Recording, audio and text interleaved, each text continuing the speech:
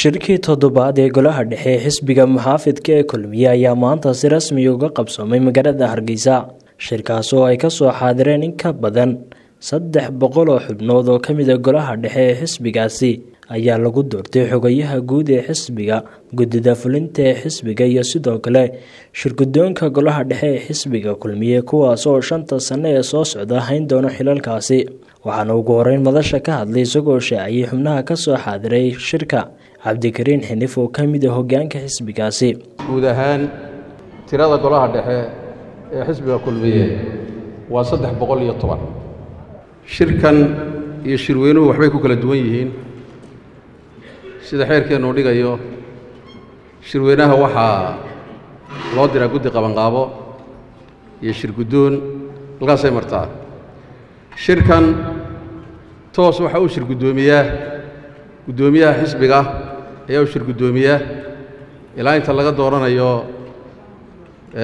guddoomiyaha ku-xigeenka iyo xogayaha golaha dhexe intaasi kadib waxaa shirka lagu doortay laguna ansixiyey xogayaha guud ee xisbigaasi oo loo doortay ibraahim axmed raabi halka hogaanka golaha dhexena loo doortay xubnaha kale ah.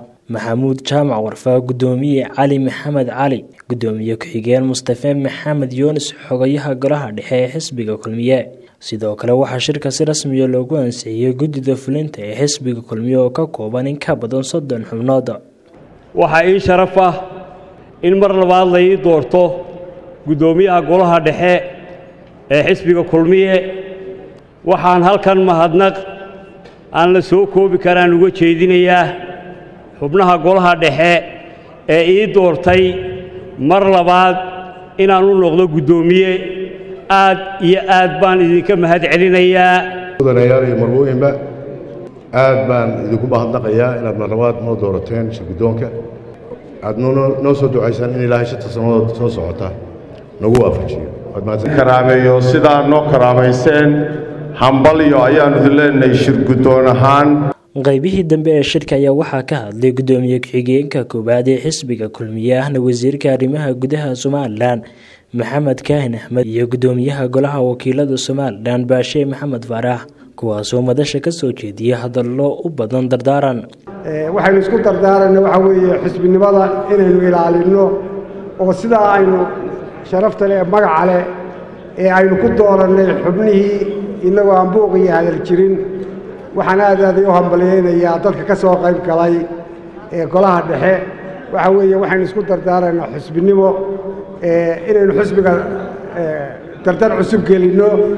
Aad iyo aad baan u soo dhowaynayaa xubnahan golaha dhexe shirkoodii ugu horreeyey maanta oo halkan fadhiyo waxaan kaloo aad iyo aad u soo dhowaynayaa xubnaha guddiga fulinta ee iyagana maanta halkan lagu ansixiyey. Ugu dambeyntii guddoomiyaha xisbiga kulmiye ahna madaxweynaha jamhuuriyadda somalilan ayaa shirka soo gebagabeeyey isagoo ku dheeraaday muhiimadda shirka iyo shaqada golaha dhexe ee xisbigu qabto. Golaha dhexe wuxuu dejiyaa wuxuu fuliyaa go'aanadii shirweynaha oo uu ku katarolaa guddida dhexe iyo xukuumaddaba. Golaha dhexe mas'uuliyaddiisa koobaad waxa weeye inuu hirgeliyo aragtida ama hiraalka fishanka xisbiga ee gola shirweynihii guddoomiyey xeerkiisuna qeexayo. Inuu hirgeliyo waa mas'uuliyadda golaha dhexe. Golaha dhexe wuxuu hilaadiyaa uu qorsheeyaa doorashooyinka muddaysani ee soo socda. Ciddii xisbigu uu sharixi lahaa xilalka kolba doorashada u taagan madaxtooyo baarlamaanka iyo dowladaha hoose. Golaha dhexe ayaa laga rabaa inuu curiyo sharciyada iyo nidaaminta iyo xeerarka lagu soo xuli karo dad qaranka u qaban kara hawshaa xisbigana xilkaa u gudan kara oo ummadda la horgeeyo. Hadal oo hadal oo hadal. Oo ku hadal. Bishii oo dhan. Toddoba dollar. Oo keliya oo keliya oo keliya. Ku darso fariin kasta oo aad dirtaana waa kuu bilaash. isticmaal shabakadda ugu ballaadhan geeyiga somalilan. Haddaba si aad ugu shubato adeega kaafiye fadlan garaac xidig siddeed eber siddeed afargees ama xidig laba eber laba afargees tayo waa telesom inay somtel bilowday abaalmarinno cajiiba oo ay macaamiisheeda ugu tala gashay.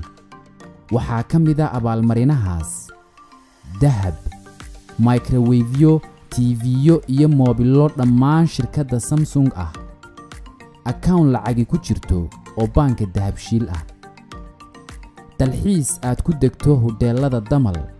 Iyo weliba toban gaadhi oo hayoondaay cusub ah kuwaas oo qaar ka mid ihi gaadhayaan qiimo soddon kun oo dollara. Intaas iyo xidhmooyin kale oo guud ahaan shan kun oo abaalmarinood noqonaysa waad ku guulaysan kartaa. Waxa aad ka mid noqonaysaa liiska tartamayaasha haddii aad ku shubato ku hadal ama aad ku shubato internet ama aad tahay qof ka ganacsada ku shubashada ama aad tahay qof u adeegsada ii dahab qaab shakhsi ah iyo qaab ganacsi ah. Ka qaybgal macmiil oo ka mid noqo guulaystayaasha. Si aad u hesho xog intan ka badan fadlan garaac saddex saddex saddex ama hal hal hal